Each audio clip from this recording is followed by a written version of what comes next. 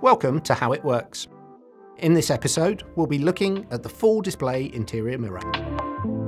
The full display interior mirror simply fits where you'd usually find a rear view mirror.